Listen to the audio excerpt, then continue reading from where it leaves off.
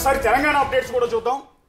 Telangana updates కూడా వద్దాం. తెలంగాణలో పార్లమెంట్ ఎన్నికలు పదిహేడు స్థానాలకు సంబంధించి జరుగుతున్న సందర్భంలో కాంగ్రెస్ పార్టీ ఎనిమిది పార్లమెంట్ స్థానాల్లో ఆధిక్యంలో ఉంది. బీజేపీ ఎనిమిది స్థానాల్లో ఆధిక్యంలో ఉంది. ఎంఐఎం ఒక స్థానంలో ఆధిక్యంలో ఉంది. బీఆర్ఎస్ అయితే ప్రస్తుతానికి ఉనికి లేదు. ఏ ఒక్క స్థానంలో కూడా లీడింగ్లో లేనట్టుగా తెలుస్తుంది. మొత్తం పదిహేడు స్థానాలకు సంబంధించి అంటే ఫిఫ్టీ ఫిఫ్టీ ఎనిమిది స్థానాల్లో కాంగ్రెస్ పార్టీ లీడింగ్లో ఉంటే ఎనిమిది స్థానాల్లో బీజేపీ లీడింగ్లో ఉంది ఎంఐఎం ఒక స్థానంలో లీడింగ్ ఉంది. ప్రస్తుతం ఎక్కడెక్కడ మనం ఎక్కడెక్కడ కాంగ్రెస్ పార్టీ లీడింగ్ ఉంది ఎక్కడెక్కడ బీజేపీ లీడింగ్ ఉంది అనేది మనం చూడాల్సి ఉంటుంది.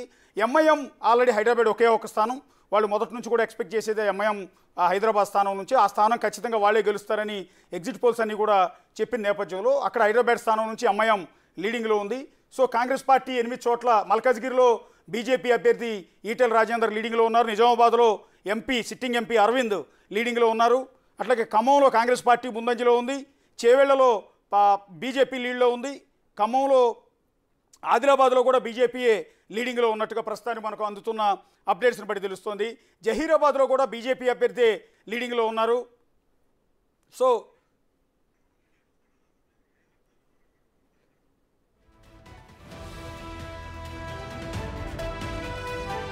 పెద్దపల్లి పెద్దపల్లిలో కాంగ్రెస్ పార్టీ ఆధిక్యంలో ఉంది. వరంగల్లో బీజేపీకి ఆధిక్యం కనిపిస్తోంది. ఇదంతా కూడా తెలంగాణ పార్లమెంట్ ఎన్నికలకు సంబంధించిన అప్డేట్స్ మనం ఇక్కడ చూస్తున్నాం. కంగ- ఖమ్మం పార్లమెంట్లో పంతొమ్మిది వేల తొమ్మిది వందల ముప్పై ఐదు వేల ఓట్ల లీడింగ్లో కాంగ్రెస్ పార్టీ అభ్యర్థి ఉన్నట్టుగా తెలుస్తోంది. అట్లాగే కౌంటింగ్ కేంద్రం నుంచి నామా నాగేశ్వరరావు వెళ్ళిపోయారు అసంతృప్తితో నిరుత్సాహంతో వెళ్ళిపోయినట్టుగా తెలుస్తోంది. నల్గొండ లోక్సభలో ముప్పై వేల ఆధిక్యంలో కాంగ్రెస్ పార్టీ అభ్యర్థి లీడింగ్లో ఉన్నట్టుగా తెలుస్తోంది.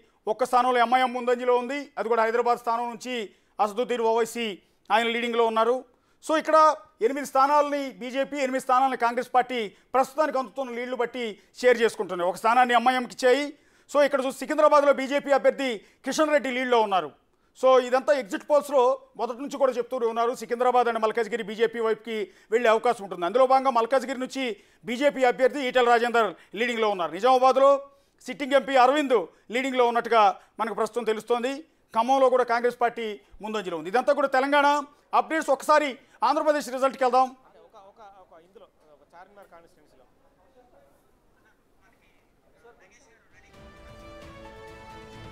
యా తెలంగాణ అప్డేట్స్ ఒక్కసారి న్యూస్ రూమ్ నుంచి మా ఇన్పుట్ ఎడిటర్ నగేష్ ప్రస్తుతం లైవ్లో అందుబాటులో ఉన్నారు. నగేష్?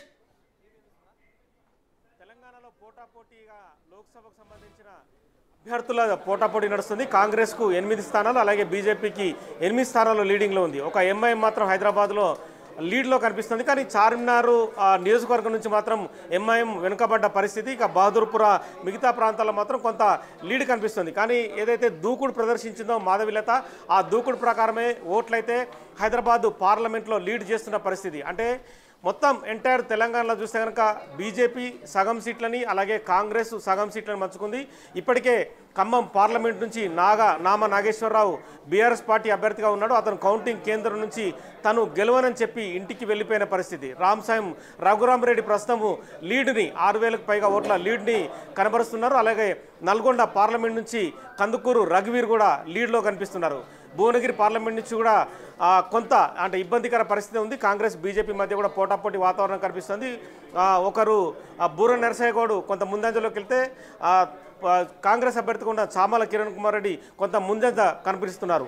ఆదిలాబాద్ చూస్తే కనుక గోడం నగేష్ ముందుకు వెళ్తున్న పరిస్థితి కనిపిస్తోంది.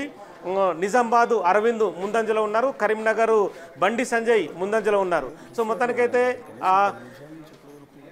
కాంగ్రెస్ అలాగే బీజేపీ సంబంధించిన మాత్రం పోటాపోటీ అంటే సరి ఎనిమిది స్థానాల్లో లీడ్లో ఉన్న పరిస్థితి కనిపిస్తుంది. మరి ఎంఐఎం ఒకటి. ఇక మిగతా రౌండ్లు అంటే రెండు రౌండ్లే పూర్తయ్యాయి. మిగతా రౌండ్లు అంటే ఒక్కొక్క చోట ఒక- చోట పదిహేడు రౌండ్లు ఒక చోట పదహారు ఒక చోట పద్దెనిమిది ఒక చోట ఇరవై ఒకటి ఇరవై రెండు. ఈ రౌండ్లు పూర్తయ్యేసరికి సాయంత్రం అయ్యే పరిస్థితి కనిపిస్తుంది. కానీ మధ్యాహ్నం వరకు మనకు సుమారుగా ఇప్పుడు తొమ్మిదిన్నర అవుతుంది. పదకొండున్నర నుంచి పన్నెండు గంటల ప్రాంతం వరకు మాత్రము ఆ లీడ్ అనేది ఆ స్పష్టమైన ఆధిక్యం ఎవరున్నారు ఏ అభ్యర్థి గెలుస్తారనేది మాత్రం కొంతసేపటి తర్వాత తెలిసే అవకాశం కనిపిస్తుంది. బీఆర్ఎస్ అయితే ఇప్పటి వరకు ఖాతా ఓపెన్ చేయని విధంగా అయితే మనకు కనిపిస్తోంది. ముందు నుంచి చెప్తున్నట్టుగానే బీఆర్ఎస్ ఈసారి అసలు ఉండదు అంత లేకుండా పోతుంది అని ప్రత్యర్థులు అంటున్న దానికి తగ్గట్టుగానే ఇప్పటి వరకు అయితే బీఆర్ఎస్ ఖాతా ఓపెన్ చేయని పరిస్థితి. ఒక మెదకు పార్లమెంటు స్థానంపైనే ఆశ పెట్టుకున్నది. అక్కడ రఘునందన్ రావు ప్రస్తుతం అయితే ఇటు వెంకట్రామరెడ్డి బీఆర్ఎస్ అభ్యర్థి మాజీ ఐఏఎస్ అధికారి. తను ఓట్లు కూడా ఒక ఓటుకి ఐదు వేల రూపాయలు ఇచ్చి కొనుక్కునే ఆరోపణలు కూడా ఉన్నాయి. కానీ ఇందులో ఆ దుబ్బాక నుంచి ఓడిపోయిన తర్వాత నగరందర్ రావు మెదక్ పార్లమెంటు బీజేపీ అభ్యర్థిగా తను నిలబెట్టారు. మెదక్ పార్లమెంట్ నుంచి నీలం మధు కూడా కాంగ్రెస్ నుంచి కొత్తగా అతను పోటీ చేస్తున్నారు. ఈ క్రమంలో రఘునందన్ రావు మరి దుబ్బాక నుంచి ఓడిపోయిన సానుభూతి కొంత ఉందనేది అంటే ప్రస్తుత పరిస్థితిని బట్టి మనకు తెలుస్తుంది. లీడ్లో రఘునందన్ రావు ముందంజలో ఉన్నారు. వెంకట్రామరెడ్డి థర్డ్ ప్లేస్లో ఉన్నారు.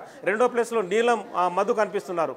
ఎంటైర్గా మిగతా చోట్ల మాత్రం నాగర్ కర్నూలు కనుక చూస్తే కనుక బీఆర్ఎస్ పార్టీ అభ్యర్థిగా ప్రవీణ్ కుమార్ మాజీ ఐపీఎస్ అధికారి ఉన్నారు. తను కూడా లీడ్లో లేని పరిస్థితి. ఇక మహబూబ్ నగర్ చూస్తే కనుక డీకే అరుణ ముందంజలో కనిపిస్తున్నారు. అంటే కొంత ఆధిక్యంలో కనిపిస్తున్న పరిస్థితి. మొత్తం ఓవరాల్ పర్ల పదిహేడు పార్లమెంటు స్థానాల పరిధిలో మాత్రము బీజేపీ అలాగే కాంగ్రెస్ పోటాపోటీ క్రమంలో ముందుకు వెళ్తున్నాయి. ఎంఐఎం మాత్రం ఒకచోట ఆ హైదరాబాదు స్థానంలో లీడ్ చేస్తుంది. కానీ మాధవిలత కూడా కొన్ని చోట్ల అంటే చార్మినార్ కావచ్చు మిగతా కొన్ని ఏదైతే ఏడు అసెంబ్లీ నియోజకవర్గాల పరిధిలో కొన్ని చోట్ల మాత్రం కొంత లీడు కనిపిస్తున్నారు. కానీ ఇంకా కొద్దిసేపటి సమయం తర్వాత పూర్తిగా ఏదైతే ఎవరు ఆధిక్యంలో ఉన్నారు ఎవరు వెనుకంజలో ఉన్నారనే పరిస్థితి మనకు తెలిసే అవకాశం కనిపిస్తుంది. ఎగ్జిట్ పోల్స్కి ఇప్పుడు వచ్చే కౌంటింగ్ ఫలితాలు చాలా దగ్గరగా ఉన్నాయని కొని మనం భావించవచ్చు అంటారా? లేదంటే మధ్యాహ్నం అయ్యేసరికి రౌండ్లు పెరిగే కొద్దీ కౌంటింగ్ ఫలితాలు ఏమైనా మార్పు వచ్చే అవకాశం ఉందా? ఖచ్చితంగా మార్పు వస్తుంది. ఎందుకంటే ఒక ప్రాంతంని కొన్ని అంటే ఒక అభ్యర్థి లీడ్ చేసే అవకాశం కనిపిస్తుంది. అంటే పార్లమెంటు ఏడు అసెంబ్లీ స్థానాలు కాబట్టి అక్కడ ఉన్న ఎవరైతే పార్టీకి సంబంధించిన అభ్యర్థులు కావచ్చు ఆ పార్టీని లీడ్ చేస్తున్న వ్యక్తులు కావచ్చు కొంత ప్రభావితం చేసే అవకాశం కనిపిస్తుంది. అంటే ఎగ్జిట్ పోల్స్ ఏదైతే తెలంగాణకు సంబంధించిన పార్లమెంటు పరిధిలో కొన్ని రకాలుగా అంటే కొంత బీజేపీకి కొన్ని చోట్ల ఎక్కువచ్చారు కొన్ని చోట్ల కాంగ్రెస్కి ఎక్కువచ్చిన పరిస్థితి. ఈ క్రమంలో ఎగ్జిట్ పోల్స్కి భిన్నంగా మాత్రం తెలంగాణ సంబంధించిన పార్లమెంటు ఎన్నికలు మనకు కనిపిస్తున్నాయి. ఎందుకంటే పోటాపోటీ క్రమంలో ఇటు బీజేపీ అటు కాంగ్రెస్ ఎనిమిది ఎనిమిది అన్న క్రమంలోనే ముందుకు వెళ్తున్న పరిస్థితి. పరిస్థితి. ఇక చాలా వరకు అంటే మధ్యాహ్నము రెండు మూడు వరకు కూడా అంటే రెండు లేదా మూడు వేల ఆధిక్యంతో ఏ అభ్యర్థి బయటపడతాడు ఏ అభ్యర్థి వెనుకంజలు ఉంటాడు ఏ అభ్యర్థి మొత్తానికి ఓడిపోయి ఇంటికి వెళ్ళిపోతున్న పరిస్థితి మాత్రం మనకు మధ్యాహ్నం సమయం సమయం వరకు తెలిసే అవకాశం కనిపిస్తుంది పదకొండు నుంచి పన్నెండు గంటల ప్రాంతంలో మాత్రం ఎవరు గెలుస్తారు ఎవరు వెనుకంజ ఉంటారన్న ఒక స్పష్టమైన మెజారిటీని అయితే మనం చూడొచ్చు. యా నగేష్ నగేష్ మీరు కొద్దిసేపు హోల్డ్లో ఉండండి. ఒక్కసారి ఆంధ్రప్రదేశ్ అసెంబ్లీ ఎన్నికల రిజల్ట్కి సంబంధించి ఒకసారి వెళ్దాం అక్కడ. టీడీపీ ఇప్పటికీ టీడీపీ కూటమి ఇప్పటికీ కూడా లీడ్లో కనిపిస్తోంది. అరవై రెండు అరవై రెండు స్థానాల్లో తెలుగుదేశం పార్టీ కూటమి టీడీపీ జనసేన